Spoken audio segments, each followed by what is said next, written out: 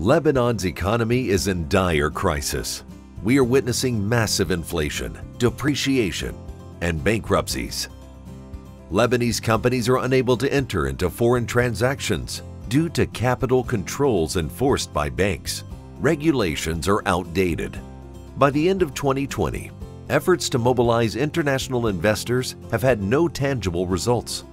And many startups moved abroad due to the challenging business environment. This has resulted in an added pressure on entrepreneurs. Still, Lebanon is a nation of entrepreneurs, known for its resilience in the face of economic adversity. Devaluation has brought a surprise, a competitive workforce. Also, locally made products are now cheaper on foreign markets and attractive exports. With its well-educated population, Lebanon can help attract companies willing to set up offices.